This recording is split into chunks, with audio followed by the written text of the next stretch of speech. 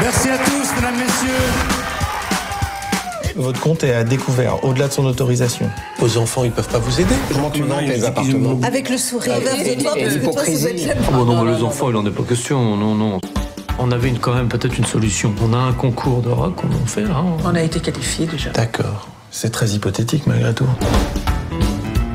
Vous aviez des, des appréhensions par rapport à un rapport éventuel à- Bah, je sais pas trop comment ça va se passer. Une première fois est toujours euh, douloureuse, désagréable, pleine de malentendus, extrêmement décevante. Oui, oui, oui. Ok. Voilà.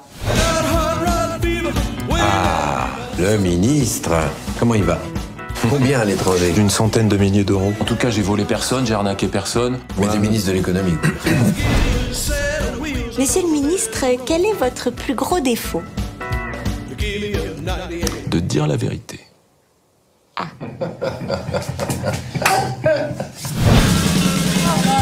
C'est un petit dire que la France est un pays d'assistés, mais, ça, c'est pas, nous, on va pas régler le problème autour de cette table. Elle a le droit de danser le rock, la mongolienne. Non mais je rêve Il faut mettre 22 milliards sur la table. Alors on peut taper sur tout ce qui bouge, mais de la solidarité avant tout. On ne veut pas euh, diviser les Français. On veut bien sûr un pays uni. Nous voulons tous un pays uni. Bon. Il faut jamais.